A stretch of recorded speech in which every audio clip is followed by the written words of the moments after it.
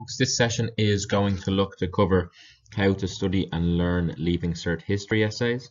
Over the course of the session, we're going to look to break down the marking scheme, give, um, I suppose, a student-friendly kind of understanding of how the marking scheme works and look to how we can use the marking scheme for, advant for our advantage in order to kind of maximize the marks we receive firstly across each paragraph that we write at Leaving Cert history and then at a wider scale across whole uh, across the whole essays that we write after we break down the marking scheme, we're going to look to essentially break down and go through different study strategies that you can apply to any Leaving Cert history essay that you're looking to study. And we're going to share those with um, you guys and attendees as well. Before we get moving on today's session, I'd just like to highlight what's available on Exam Revision's website in terms of Leaving Cert history. So the whole course is covered um, for Leaving Cert history. So if we click into USA and the wider world here. The whole course is covered in or from the perspective of there's uh, pre-recorded video lessons so that's me kind of recording a lesson and walking you through each different topic on the Leaving Cert history course and explaining the finer details and the main events that take place over that before linking that back to exam situations and showing you how often um, each question or topic comes up Secondly, we have the whole course covered in PowerPoint, H1 standard notes, and what you just seen on the screen there was um, my favorite aspect of the Leaving Cert History course, which is those, or exam revisions Leaving Cert History course, which is those self-correcting quizzes. I can't emphasize the importance of quizzing yourself and actively testing yourself on leaving cert histories topics in order to kind of i suppose maximize the benefits of your study you can what you'll see on the screen there is just to kind of an example of the H1 standard notes, which use timelines, icons, just to kind of provide a visual representation of those notes as well. Um, all of that's available on Exam Revision's websites and really, really handy study tools to kind of maximize the mark that you're going to get for Leaving Cert History. Just to kind of show you where we're going to go today, um, first thing we're going to look at is the marking scheme for Leaving Cert History. So I'm going to go through a detailed breakdown of what the marking scheme is. I'm going to show you what it looks like and then I'm going to break it down in student-friendly language most importantly, I'm going to show you how you use the marking scheme. The marking scheme is what's given to Leaving Cert History examiners when they're correcting your essays. How you use the marking scheme to maximize the amount of marks you receive across different paragraphs and then across wider essays as well. So we use the information that's available to us to guide the type of answers that we give. Secondly, I'm going to highlight how I suggest you structure your paragraphs to maximize um, the marks that you receive. So I suggest using a peel paragraph approach, point, explain, point, evidence, explain, link. I'm going to go through that in detail, show you multiple examples of what that looks like in practice and show you how you can maximize your uh, structure of your paragraphs to, I suppose, maximize the results you get. Next, we're going to look at how to plan for essays. So I suggest you plan at both micro and macro levels. Macro levels, kind of looking at a wider picture, kind of zoomed out view of what the essay is going to look like, what are our eight paragraph titles that we're going to discuss, micro, what are the finer kind of pieces of evidence and historically correct references that you're going to use in your essays in order to structure those essays to maximize the results that you get. And then finally, I'm going to show you how you study for Leaving Cert History essays. I'm going to share with you guys a template uh, essay study plan that I give to all my students. All my students engage in this practice once a week with different essays over the course of two years. By the end of those two years for Leaving Cert History, they've really ingrained and kind of, I suppose, mastered that study process and looked at how we can structure our essays and study for our essays in order to enable us to recall that information on the day of our exam. Really, really important session that I'm covering today, something I'm extremely passionate about and something that, or it's a process I engage with with my students over the course of two years. First thing we're going to look at today is the Leaving Cert History marking scheme. So this is what the front page of that marking scheme looks like from an examiner's perspective. This marking scheme is given to all Leaving Cert History examiners who are essentially the people that are correcting your Leaving Cert History essays and your exams um, over the course of July um, when they correct your exams the month after you obviously sit the exam. This is the front page of the booklet. It gives them lots of information. It tells them what paragraphs should be, how each paragraph is marked, what type of things examiners are looking for in each paragraph and each essay. So this is a hugely valuable piece of information that we're going to need to use and need to understand to guide what our paragraphs and what our essays should look like first thing we need to look at in terms of our Leaving Cert history or in, in terms of the Leaving Cert history marking scheme is our CM and OE. So CM essentially stands for cumulative mark and it's basically the mark that you'll receive for the historical content evident within your essay.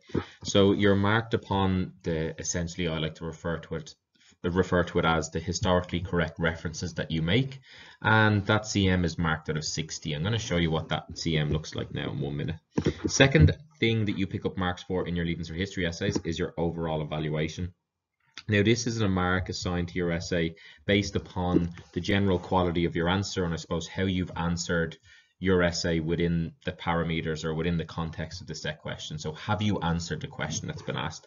So you're always marked out of 40 marks and it's more of a snapshot, snapshot judgment that the examiner will make on your essay basically after they've read the whole thing. So your cumulative mark is, I suppose, added up as the examiner corrects your essay, while your overall mark is a snapshot decision made at the end and he marks it out of 40 then as a result of that. Direct quote or direct reference to the marking scheme that's provided to Leaving Cert History examiners. And this is what we'll call a sliding scale. So your cumulative mark or your CM, which I'm going to refer to it from now on, is marked on a sliding scale out of 12. So it's marked from 0 to 12. The least amount of marks you can receive for your paragraph is 0. The most amount you can receive is 12. That or the or the idea of a sliding scale means that the examiner will read your paragraph and give it a grade or assign a grade via 0 to 12 depending on whether it's excellent, very good, good, fair or poor. Now I'm going to show you this in a little bit more student friendly language on the next slide to because it's going to show us what what our paragraphs need to say but I just want to highlight one word to you now um, that's I suppose a key word in a document and a key word we as historians or we as Leaving Cert history students need to consider in every aspect of our uh, of our historical writing. That word is analysis. We're going to see that word come up again and again over the course of um, this document, the Leaving Cert history marking scheme. And it's going to really need to guide and tell us how we need to, I suppose, phrase our writing for Leaving Cert history cumulative mark sliding scale would look like this in a little bit more student friendly language. So the examiner has to assign a descriptor to the paragraph that you've written. So our descriptors are down the left hand column here and each descriptor has a mark assigned to it. So we're going to start at the top and work our way down to the bottom. So if we look at the first descriptor, an excellent paragraph will receive 11 to 12 marks. Um, and I suppose the characteristics of that an excellent paragraph looks like this. That paragraph must be an outstanding piece of analysis, exposition, or commentary, clearly expressed, accurate, and must contain substantial information. Now, I just want you to take a minute and just think about the characteristics of an excellent paragraph there. An outstanding piece of analysis. To me, it sounds very, very difficult to achieve. And we're going to look at, I suppose, the most common awarded marks for paragraphs at a later point, but let's just keep that at the forefront of our mind.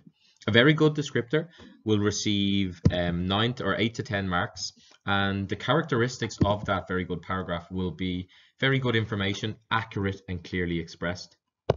Before I move forward, I just want to maybe highlight the differences between those two paragraphs. An excellent paragraph, outstanding piece of analysis, or a very good just an 8 to, or just a uh, or very good very good information and receive 8 to 10 so there's a huge discrepancy or huge difference between what an excellent paragraph and a very good paragraph looks like and that's going to dictate I suppose how we're going to look for and structure our whole essays a good paragraph then 6 to 7 marks worthwhile information reasonably well expressed I'm going to highlight that phrase worthwhile.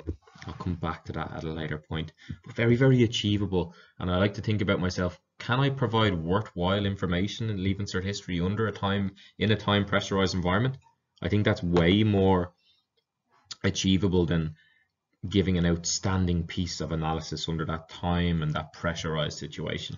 A fair paragraph, you'll receive three to five marks and the descriptors are limited information, barely stated, and a poor paragraph, hopefully none of us will be achieving this zero to two marks, trivial or irrelevant grave errors included. Now let's look at these in a little bit more detail before we progress. Focus in on our cumulative mark and our excellent descriptor. So as we can kind of hopefully gauge by the judging by the characteristics of an excellent paragraph, outstanding piece of analysis, it's going to be extremely rare to be awarded an 11 to 12 marks on a paragraph in a Leaving Cert History essay. I like to kind of phrase this or think about this situation is in order for you to achieve an 11 to 12 or an excellent descriptor on each paragraph, you almost need to portray the historical event in a new light for the examiner. That's extremely difficult to do. Examiners are very experienced historians. They've seen and studied these events over the course of years and decades, and it's very hard to portray that event in a new light for the examiner. So we need to manage our expectations around thinking, okay, I'm going to achieve 11 to 12 in every single paragraph, because that's probably not going to be the case. And if we look at how those marks are awarded, it's very rare that they're actually given to students. So we need to just manage our expectations around that excellent descriptor and we need to look at the other descriptors that maybe are more achievable in a time uh, sensitive situation such as the Leaving Cert History exam and we're going to plan for our essays using that now. So if we look at the descriptors good and fair, the most common paragraphs awarded are good and fair. So in that three to seven kind of mark range that we'll, uh, that we'll expect to get. And this is really important because it's going to tell us how many paragraphs we need to write in our Leaving Cert history essays to maximize the amount of marks that we receive. So we're going to use this information that is given to us in the marking scheme. These are the most commonly awarded marks, three to seven, and we're going to use that to kind of guide how long our Leaving Cert history essays should be. So that's why I kind of stress the importance of, from a student's perspective, you need to have an understanding of the marking scheme because it tells you what to do. It tells you what type of information to include in your essays tells you how you should structure your paragraphs. It tells you what your paragraph should be about. It also tells you how long your essay should be. That's a question I get asked as obviously a Leaving Cert history teacher and then a content creator for exam revision. And I obviously work um, hugely with students across the country through and Grinds and stuff as well. But how long should my essays be? Well, it's actually in the, it, it, there's rough guidelines of it in the marking scheme. So we need to make reference and have a good understanding of that.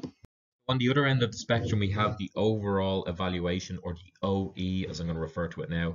So the OE, once again, is that snapshot decision made by examiners um, after they've read your essay and it's marked out of 0 to 40. So when awarding the OE, they're basically eval evaluating the quality of your answer by taking in three things into account.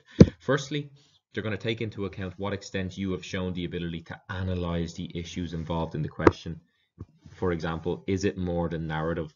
And the phrase I like to use with my uh, my history students is that as historians, our job isn't to tell the story of history; it's to analyze the story and look at trends and and investigate different impacts of that historical event. So our job isn't to tell the story, it's to analyze the story. And that's really important to understand because that word analyze is made reference to in the marking scheme multiple occasions. I'm going to highlight to you how much it actually comes up.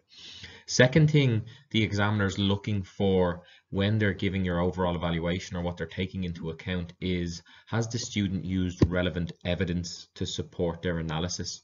That's a phrase taken directly from the marking scheme. And what you'll start to notice is the marking scheme hasn't said, has the student used relevant evidence to support their um, answer or to support their explanation or description. It's looking for you to analyze historical events. So once again, our job isn't to tell the story of history. It's to provide evidence to support analysis. This is telling us how we need to structure our individual sentences and paragraphs within the Leaving Cert history essay. And I'm going to give you multiple tools to help you achieve that. Third thing, the overall evaluation is, I suppose, or what examiners are taking into account when they're looking at the overall evaluation is they're looking at your ability to argue a case, reach conclusions, basically have you answered the question that's been asked. And I can't stress the importance of this because obviously working with students across the country, a question that I get asked a lot is, uh, how do I just learn answers off for Leaving Cert History? And it's something I'd never encourage a student to do for Leaving Cert History because the marking scheme actually wants you to be reactive. It wants you to be be able to adapt to questions and phrasing of questions differently and wants you to actually think and consider about the historical events and the analysis that you're putting forward. So I'd never recommend learning whole paragraphs off, we learn about different pieces of evidence and different pieces of analysis that we're able to adapt and use across multiple different essays and from across multiple different perspectives. And that's really important that you have to answer the question that's been asked. I'm going to give you two strategies later on today on how you actually answer the question that's been asked and how you make sure that you do it in every single paragraph. Just to show you what the overall evaluation looks like from an examiner's perspective, this is a screenshot taken from the marking scheme. So once again, our overall evaluation is marked on a sliding scale, except our sliding scale this time is marked from 0 to 40. So you'll see we have our different descriptors. Once again, we have excellent to very weak this time. And the sliding scale goes from 0 to 40, as I said. So the examiner will read your essay. They'll add up your cumulative mark or your CM as they go throughout that essay. And afterwards, they'll make a snapshot, snapshot decision. I think that was a very good essay. I'm going to give it 31 out of 40. My justification is for that because it was very good. It wasn't excellent. And it did answer the set question that's been asked. It was it contained accurate and substantial information. So they used the descriptors here to make that snapshot decision. So they'll look at your essay, they'll read your essay, look at it and see which descriptor fits it best. So to look at that, or just before we move forward, I'd like to highlight one more word to you guys. So this is probably the fourth page of the um, marking scheme that we've seen so far. And I'm going to highlight another word to you guys, analysis. It's the fourth page of the marking scheme, I believe, and this is the fifth time we've seen that word. So if we really need to, well, if we're considering H1 standard and we want those H1 and H2 level points that are associated with writing at this standard of, or writing at this uh, standard in history, we need to be considering analysis. We're not here to tell the story, we're here to analyze it. So our H1 standards and our H2 standards are going to be providing analysis we're going to go above and beyond. We're not just going to be telling the story. We're going to be analyzing the story, and that's really, really important. So if we look at our overall evaluation or OE sliding scale, a little bit more student-friendly language, this is what it's going to look like. So once again, we have our sliding scale and our descriptors in the left-hand column here. And each descriptor is assigned a certain marking range, and then there's characteristics assigned to each descriptor. The examiner will look, read your essay, see which characteristics fit your essay best, and then it'll assign a mark from that, uh, I suppose, marking range for your essay. So a descriptor or the marks awarded to an excellent overall evaluation for an essay is 34 to 40, and the characteristics of that is excellence in its treatment of the set question, particularly if it shows detailed learning, wide reading, I'm going to under highlight that word, and analysis as well or extensive coverage. So what that tells us is we need to be able to show that we have engaged in that kind of historical process of reading, looking at different perspectives from events and for me that tells us we need to go above and beyond outside the classroom. What I suggest to my students that we change the, that idea of wide reading to wide reading, viewing or listening. Books, documentaries, podcasts we need to be engaging with them of course across the two years of history leaving cert history. And that's going to provide us with extra information quotes from historians quotes from key personalities along the course that we're going to be able to include in our essays. And i can't stress the importance of that. You know it's often quite a throwaway statement from a teacher that you need to you know engage in your own independent reading and study on this topic. However the leaving cert history course literally makes reference to that so if you're thinking about that H1 standard at Leaving Cert History, that's what an excellent over OE mark is. It tells us we need to engage a wide reading and that's really important. Let's keep going anyway. We have our very good, it's going to achieve a 28 to 33 mark on that sliding scale and the characteristics are this, very good but not excellent in its set treatment of the set question, accurate and substantial history. So very reasonable to achieve 20, 28 to 33 if we're engaging in, I suppose, the steps that we look to over the course of the year. Good paragraph then, 22 to 27. Good standard of treatment of the set question without being exceptional in the information or commentary supplied. Then we have fair, 16 to 21. Fair attempt at the set question, but has, um, I suppose, defects, e.g. it's incomplete coverage, missing key events, or has irrelevant data that's included. Weak, hopefully none of us are going to be in this range, 10 to 15. Poor, in that it fails to answer the questions as set but has some merits. Very weak, 0 to 10. Then we have our very poor answer, at best only offers scraps of information and hopefully none of us are going to be there. So that's our sliding scale, that's our OE and hopefully we understand from an examiner's perspective how they're marking your OE in your exam as well. It's really important and what I can't stress enough there is that idea of wide reading if we're looking at that H1 standard.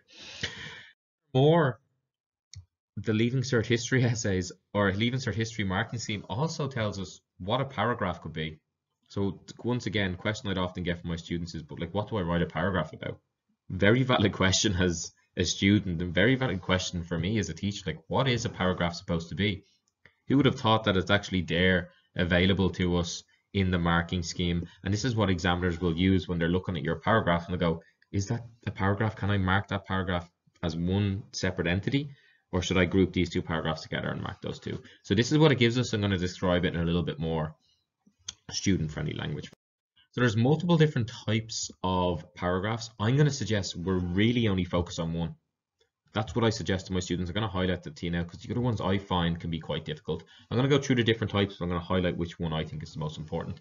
So the different types of paragraph is firstly, you can write an introduction. An introduction should provide background information or historiography as a historian would call it. So historiography is when you provide background information about a situation or event or a key um, personality in history. So if we're looking at the Anglo-Irish Treaty, obviously the War of, End War of Independence is going to be our historiography there and it's going to be rooted and it's going to be extremely important in our introduction. We could also use a paragraph to define key terms or what I like to do is explain the essay's approach and you'll see that in my examples as we progress down today. So in my uh, introductions, I explain the approach of my essay. So I'll usually react to the essay title. So if we're thinking Anglo-Irish Treaty, it's going to be something about controversial. I'll describe how the negotiations and the events thereafter the Anglo-Irish Treaty can be seen as controversial. Then I'm going to explain my approach to the essay. Firstly, I'm going to discuss how um, the selection of Irish delegation of the Irish delegation was controversial, as we see a wide spectrum of nationalism. So we have our examples of Collins, who was, I suppose, uh, Brugha, who was quite militant Republican. We have um, Arthur Griffith, who was quite moderate, and we have Collins somewhere in between. Secondly, my second paragraph is going to discuss should De Valera have gone to London and the controversy associated with this. So when we describe our types of power, or when we are looking to write our introduction, I suggest we ex explain the approach of our essay we generally tend to not pick up good marks in our introductions anyway. Second type of paragraph, the one I'm going to suggest that we write almost all our paragraphs about is we write about an episode, phase, or stage in a sequence of events. So if we're studying um, fascism in Italy or the characteristics of fascism in Italy, one episode, phase, or stage in that sequence of events is the march on Rome and Mussolini's rise to power. What's important to understand is there we don't lump two or three events into one paragraph because there should be one event in each paragraph, an episode phase or stage in a sequence of events. So for example, something or a non-example of that or something that you shouldn't do is if you're talking about Mussolini's rise to power, you shouldn't lump in the March in Rome and the 1924 general election into the same paragraph because they're two different episodes or uh, stages in that sequence of events. That's really important. And this is the par type of paragraph I suggest we write almost all of our paragraphs in Leaving Cert history on. Thirdly, we can also write a paragraph on an aspect of a topic or issue um, with supporting factual references. And this is where it kind of gets a bit ropey for me or it gets a little bit difficult to actually define what our paragraphs are. So I wouldn't really recommend studying and focusing on, on trying to do that. Number four, we could also write a point in an argument or discussion with supporting factual references. Once again, I think that's kind of bordering the line of opinion rather than actually discussing um, you know, or analyzing historical events. So I kind of try to stay away from that, or I try not to plan for those types of paragraphs. Um, and then fifthly, it could be an explanation of a relevant concept with supporting factual references. This I can actually see the benefit of, and I can see the merit in. So if you're dealing with we'll stick with characteristics of life in fascist Italy. So you could write a paragraph explaining the characteristics of fascism with supporting factual references of where those characteristics of fascism are evident in Mussolini's Italy. So that's the type of paragraph that we could write there when we explain what fascism is. It would usually be paragraph one of that essay, if I'm being honest. And then five or, or six, um, this is where the kind of examiner can come in and kind of you know support you picking up extra marks so a type of paragraph could also be a number of significant relevant facts explanations or opinions which although are not connected can be taken and assessed as a paragraph equivalent. And this kind of gives the examiner um, a little bit of autonomy or a little bit of a freedom to kind of look at your exam and look at your essays and kind of lump two or kind of especially in that kind of time pressurized situation. And if you're really under time pressure in the exam you kind of just you know brain dump your ideas onto the page. The examiner can kind of piece those together and mark that as a paragraph. So really kind of handy. And then finally we have a good concluding paragraph which is not mere re repetition. Now it can be hard to write a concluding paragraph and we'll go through steps that I'd suggest to do that in this session but once again we have to develop that skill over two years. It shouldn't just be an afterthought. So consequently we've looked at the Leaving Cert history marking scheme. Now we're going to use that information to basically tell us and guide us what we need to be writing, how long our essay should be, how we should structure each paragraph, how long each paragraph should be. So as a, as a result of kind of analyzing the marking scheme, I've come up with this idea of the sweet spot of leaving cert history essays and I call it the 10 paragraph essay. I'm going to show you my thought process and how I've got to this point. So every single essay that you write on your leaving cert history paper is marked out of 100 marks. Your CM cumulative mark accounts for 60 marks. Your OE, your overall evaluation, accounts for 40 marks. As every paragraph is marked out of 12 cumulative marks, and, and the majority of students only receive 4 to 7 marks per paragraph, we're going to write 10 paragraphs, including an introduction and a conclusion. That means our cumulative mark is marked out of 60 if we divide 60 by 10, that means we only need to pick up six marks on average per paragraph. And that lands us right in that range of average marks that students achieve. So if you can take away one thing from today's sessions is that when you're planning your paragraphs and planning your essays, you should be aiming to write 10 different paragraphs because that means you only need to average six in every single paragraph, six out of 12 and you're going to be up towards the higher end scale of your cumulative mark and picking up close to 60 marks out of 60 and that's where we need to be. So the sweet spot 10 paragraph essay is what we need to be aiming for when we're planning our essays. Kind of leads us into the question then that student my students would ask me at this point but what does good historical paragraphs look like? So there's six things we're looking to do in our good historical paragraphs or six kind of characteristics of good historical writing that we need to start thinking about. So in every single paragraph, we need to react to the question. We need to state the main point of your argument. You need to provide factual evidence. So I like to think about that as maybe not even six to eight. Maybe we could change this to like four to six historically correct references per paragraph. Let's get rid of six to eight there. I prefer maybe four to six. You have to explain the evidence that you provide. So I uh, suggest to my students, pick one or two pieces of factual evidence and explain that evidence in, I suppose, the context of the question and the event that you're discussing. In every second or third paragraph, you should show evidence of outside reading, watching, or listening. Think back to our H1 standard of an OE marked on that sliding scale. So H1 standards or H1 standard students will display evidence of outside reading is what the marking scheme says.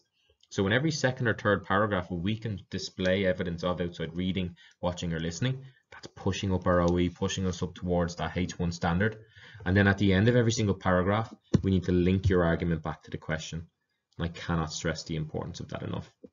Really quickly have a look at what good historical writing looks like as an example from a paragraph created by one of my students. So this is taken from Eucharistic Congress essay. It's paragraph four where we discuss the social impacts of the Eucharistic Congress in Ireland. So I'll show you the length really quickly and we're going to flick to the next slide to kind of go through this in a lot more detail to be honest. So you can see that the length is quite standard there. When we write this on an A4 page, for me what I'm looking for is just under half an A4 page. So a little less than half an A4 page is what we're looking for. So let's have a look at this answer and read through it together and break it down in lots more detail so we can identify the aspects of good historical. So let's read through it together. It could be argued that the social impacts experienced as a result of the Eucharistic Congress further consolidated the controversy of partition on the island of Ireland. Ireland. Firstly, the success of the Eucharistic Congress enabled the development of an Irish Free State Catholic identity that was in complete contrast to the Ulster Unionist identity that had formed in the late 19th and 20th centuries. Consequently, this led to an us versus them mentality on the island, which was demonstrated over the next hundred years and is still evident in parts of the island today. Additionally, the, su the success of the Congress led to people becoming proud of the Catholic Irish identity. As a result of the development of two distinctive separate religious identities on the island of Ireland, communities became increasingly more divided. This is evident as at the time of the Congress, people in the north did not become involved in the event. Catholics travelling from the north were attacked for their participation in the Congress. Therefore, the clear differences in religious ideas increased tensions on the island. However, as famous activist John Hume stated, difference is an accident of birth and therefore should never be the source of hard or conflict. We can therefore see that the social impacts of the Eucharistic Congress consolidated the idea of partition on the island of Ireland. Let's break that down into a little bit more detail so you can clearly see the good characteristics of historical writing in play.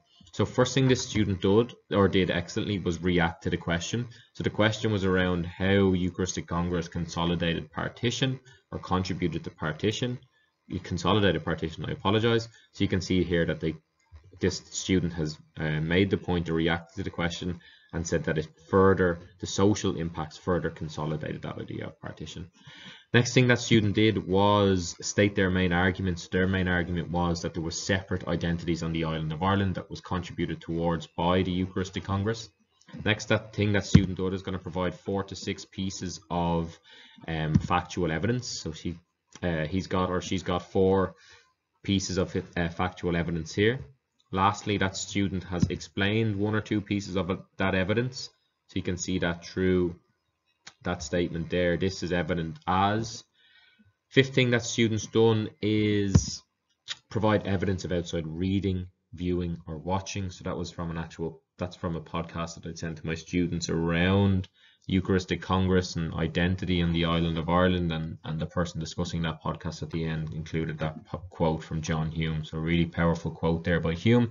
And then, the last thing that student has done has linked their argument back to the question. So, she has bookended that paragraph there. She's reacted to the question in the first part, and she's linked it back to the question in the last part. So, what this student here is doing is kind of overtly saying or openly stating to the examiner, look at me, I'm answering the question that's being asked. So she's book-ended that paragraph, and that's what I'd suggest to do. You make a point in the first one and you link it back in the second one. Last thing that you'll see that has contributed to the student achieving a very high OE in her essay is she's used linking words throughout. So those linking words, I'd say you could see there, it could be argued that. That's a linking word that helps to start a paragraph. Firstly, consequently, additionally, as a result of, this is evident as. However, we can therefore see multiple examples of how this student has used linking words that help, I suppose, contribute to the flow of her writing. So we've seen the marking scheme. We've kind of identified characteristics of good historical writing. We've seen sample answers of where that good historical writing has been applied. Now it's about using strategies to get us to that point. So the first strategy I'm going to suggest how we is how we structure our paragraphs. So in order to include the characteristics of good historical writing in our paragraphs, I suggest following a PEEL approach. So PEEL stands for point, evidence, explain, and link. Let's see what that looks like in action. So in order to help you write help you write in a PEEL part using a PEEL paragraph approach, what I suggest using are these linking words. So this is going to be shared with you guys as well, or you can just screenshot the screen here. I actually glue this into the front page of my students' copybooks, and I suggest using it whenever you're writing a Leaving Cert history essay. It'll help you structure your paragraphs. So if you're looking to make a point, you could use phrases like, it could be argued that, historians have argued, the sources around this time suggest, we can infer from the sources that if you're looking to provide evidence, there's two pieces of evidence that you can provide. Uh, evidence that's going to look to join ideas. So you can use phrases like firstly, secondly, thirdly, in addition, furthermore, moreover. And the second type of evidence you can provide is um, evidence that's going to change your main ideas. So you can use phrases like, however, conversely, on the other hand, alternatively, but, then you need to pick one or two pieces of evidence that you provide and explain that evidence. You use phrases like this means that, therefore, consequently, as a result of, because we can see from this. And then the last thing you need to do is link your paragraph and your points back to the main question to show the examiner that you're answering the question that's been asked. To do that, we use phrases like we can therefore see. It is clear that the most important factor is in conclusion. So these are the phrases I recommend trying to embed in your essays. They're going to boost your structure of your paragraphs, which is going to boost your boost your cumulative mark, and it's going to boost your OE because you're going to be using those linking words I discussed in the last uh, slide to kind of boost that OE and show the examiner that you're answering the set question that's been asked. Next up, we can look at how we plan for Leaving Cert History essays. So when planning for essays, I suggest looking at it from two different viewpoints. Macro or big picture planning, so we zoom out all the way out and we look at, okay, what's the eight paragraph titles that I need to discuss in this essay or micro level planning. So we zoom in on each single paragraph and okay, we look at, okay, what is the evidence I need to provide for this essay? So I'm going to show you an example of my micro and macro plans, and then I, I suppose I'm going to look at how we start to plan those ourselves and, and self-regulate ourselves around that. Okay, so if we look at our macro plan here, this is for an essay what were the main events of the Eucharistic Congress in 1932 and how did it uh, contribute to Irish identity? So the first thing that we need to do in every single paragraph is write an introduction. Our marking scheme tells us that we need to do that. And then we need to think about, okay, how we're planning for our essays so that every paragraph only deals with an episode, phase or stage in a sequence of events. The sequence of events here is the Eucharistic Congress and the lead up and uh, the events that took place over the week and the impact that they had. So each paragraph should just deal with one phase of that. So if we look at first our first paragraph here, the influence of the Catholic Church in Irish society, that's a phase in this sequence of events. Then we look at the organisation of the Congress, the events over the week, the mighty invasion of Croke Park, promotion of church-state relations, and so on. When we look at our micro plan, our micro plans, they're going to look a little something like this, okay? So it provides us with the finer details and the pieces of evidence that we need to discuss in every single paragraph. So we're not going to go through every single phase or step of this micro plan here because it would obviously take us lots of time. And this Saturday session isn't about the Eucharistic Congress. It's about how we study and structure our essays. And um, but if we have a look at paragraph one here, okay, so paragraph one's essay title is the influence of the Catholic Church. So when we're planning our micro plans, we need to provide four to six. If you remember our characteristics of good historical writing, we need four to six pieces of evidence for every single paragraph. So we need to come up with four to six pieces of evidence or historically correct references that's going to enable us to write an H1 standard paragraph here. So if we focus in on this, let's read through it together. The first piece of evidence we're going to use here is the Catholic Church is a powerful organization in Irish society. It influenced people at election time. There was excellent relationships between the clergy and lower classes in Irish society. They were able to influence ideas. And there was a poor relationship between clergy and upper class members. That was not common in Irish society. If we flick forward one more slide just to show you that I've done this for eight different paragraphs on the essay can see paragraph 3 through 6 here. We've got 4 to 6 pieces or historically correct references for every single paragraph. That's going to enable us to structure and write our paragraphs at a high level. I'm going to skip forward and I'm going to go through one paragraph and I'll go through how I write that paragraph once more. So if we look to, well, we looked at social impacts in the earlier part of this session. So I'm going to look at social impacts here. So if we look at, I suppose, the pieces of evidence that was used to write that paragraph by my student, this was the evidence that uh, she was given. So consolidated the controversy of partition on the island. The success of the Eucharistic Congress enabled the development of an Irish state Catholic identity that was complete contrast to the Ulster Unionist identity, led to us versus them mentality, Catholics travelling from the north were attacked. People became proud of their Catholic Irish identity. So this was the these were the pieces of evidence that my student used to write that sample paragraph that you would have seen earlier that contained all those characteristics of good historical writing. Your biggest takeaway here is, and I'll share my, my template will be sent over to you for our micro and macro plans, is to when you're planning for your essays or before you write an essay, you should sit down and plan, okay, what are the eight paragraph titles I'm going to write about? Those each paragraph title should be um, an episode phase or stage in a sequence of events. And then you should go micro planning, look at every single paragraph and pick out four to six factual pieces of evidence that are relevant to the paragraph title. And you just write them into the box. And then you sit down and you write each paragraph focusing on using that peel paragraph approach. And that's going to enable you to become an excellent writer in history. And it all contributes to that wider kind of study and learning of uh, the information for each paragraph show you how I kind of go through that peel paragraph approach with my students now once again. So once again with our peel paragraph, and this is a great way if you're struggling to grasp that concept of what is a point, what is evidence, what is explanations, and what is our link, I'll give this kind of template to my students. And once again, this will be available for you guys to download, I believe. Um, and I just get students to write out, okay, what do you think the point is? What is the evidence? Write out your explanations, write out your link in this format, and I'll show you what that looks like here. So this is from another paragraph from the Eucharistic Congress, so we'll keep it all in line today. So the point is that the organisation of the Congress demonstrates the building of community identity in the newly formed Irish Free State. Our evidence is Garda Commissioner was appointed as organiser. Second thing was parishes all over the country begin organising their areas. Third thing was the 1932 election was held or rearranged. And then fourth thing was Dubliners decorate the city. There are four pieces of evidence that we're going to need. We can explain those evidence by saying stuff like how Eoin O'Duffy would meticulously plan every detail of the event, finding homes, accommodation and food for thousands of people expected to arrive. If we are going to use number two as our piece of evidence, parishes all over the country began organising their areas of the city we could talk about how they would hold uh, prayer meetings and collect money for uh, decorations for the village. And we won't go into too much detail there, but we can see how each piece of evidence is linked to an explanation. So one is with one, two is with two, three is with three, four is with four. So now when we're structuring our paragraph, we can just follow that uh, kind of structure and that plan that will help kind of embed that peel paragraph approach in our writing.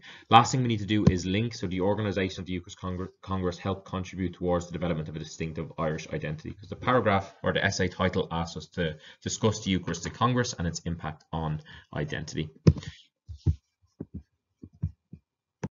Paragraph looks like in reality then would be something like this. We use our point we pick our first piece of evidence and we explain it. We pick our second piece of evidence and explain it. We pick our third and then we write a link sentence. And that's going to be probably a little bit more than half a page. It's definitely going to score us around eight to nine or seven or eight maybe actually in um, our cumulative mark from an examiner's point of view. Okay, folks, last thing we're going to cover today is how I show my students to study for Leaving Cert History essays. So this template should become available to you guys, and it's how I study for those Leaving Cert History essays. We think about how big that Leaving Cert History course, we have to be able to condense large amounts of information down to five keywords, trigger words, paragraph titles. So hopefully when we come into our Leaving Cert essay, all we need to remember is our eight paragraph titles and we're going to be in a great spot and be able to recall information from each paragraph title. In order to engage in that process, we need to firstly chunk and condense information down into paragraph titles, and then we need to test ourselves from that paragraph title and test ourselves on our ability to recall information. I'm going to walk you through that process now, just to show you what that might look like. If we just zoom up on this studying template for Leaving Cert History essays, there's a couple of things that we need to do. So for every paragraph, we need to come up with four to six points. So on average, five points per paragraph. So first paragraph for our Eucharistic Congress, we're going to come up with, well, it's about uh, influence of Catholic Church in Irish society. So we need to come up with four to six key points around that. So I write my four to six key points. I write them nice and small. They're not to be developed. They're just the main pieces of evidence that we need. Then we need to condense those four key points down into four key words. So it might look like this in this sense. Catholic Church was a powerful organization in Irish society. Goes to Catholic Church. Influenced people at election time. Influenced election. And so on. Then from those four uh, keywords, we need to come up with two trigger words is what I suggest. So a trigger word is a word that's going to help trigger you remembering that information. So in this sense, my two trigger words were Catholic Church and influenced lower classes. Then we need to come up with a paragraph title that's going to summarize all that information. On the exam day, all we, we're going to need to remember is our paragraph title and then we're going to be able to recall different pieces of information from that. So our paragraph title here would be the influence of the Catholic Church in Irish society. Let's go through how this works in reality. Alright lads, this video is going to cover how we study for our Leaving Cert History essays. So you can see from our worksheet here, we've four different columns. First one says five key points, five key words, trigger words, and a paragraph title. Now we're only to actually use this um, study worksheet once we have completed a Leaving Cert History essay. We've gotten feedback from myself, we've applied that feedback and it's up to the standard that we want. So in the first column here, we have to summarize the five key points from your first paragraph within that essay. So you can see I'm summarizing them nice and small to make it a little bit easier to rem remember. I've got points like Redmond and the Home Rule Party introduced the third Home Rule Bill. Ireland get it to get its own parliament, list of limitations, Britain can still interfere. Then we have to take those five key points and condense that down into five memorable keywords. So I've went for Redmond, Parliament, limitations, um, Irish laws, and a big X to say it wasn't successful. Now I have to turn those five keywords into what I like to think of two trigger words, words that are going to help us remember those five keywords. And then we come to the last section here and we add a paragraph title. So that paragraph deals with the introduction of the third Home Rule Bill in Ireland. Then we go down to paragraph two. Once again, we, we're using our completed um, and updated essay where we've applied our feedback. And in the first column, we need to summarize the five, five key points from paragraph two. We summarize them nice and small. We're not rewriting the paragraph here. So for here, I've wrote 470,000 men signed the Solemn League and Covenant. Some sign in their own blood, symbolism. Um, I've also uh, put down there the formation of the UVF, defeat the present conspiracy, the quote I want to use. And I've also put Asquith does nothing. So then I need to condense those five key points into five key words. So I've wrote 470,000 blood, UVF, conspiracy, and Asquith. Now I need to add two trigger words for our paragraph that's going to help trigger the key words that I'm trying to memorize. So I'm writing Ulster Solemn League and Covenant in UVF, and then I need to add a paragraph title here. Now I've actually made a mistake on the paragraph title and I've just rewritten my trigger words. Paragraph title here is uh, Unionist Opposition to Home Rule. So we keep going for all eight paragraph titles for our essay, and then we get a blank bit of paper, okay? And this is where the important part of our study comes in here. So now we use the columns within our worksheet to test ourselves. So I cover, put a white piece of paper over and I cover and I try to test myself. Okay, what was the paragraph title for paragraph one?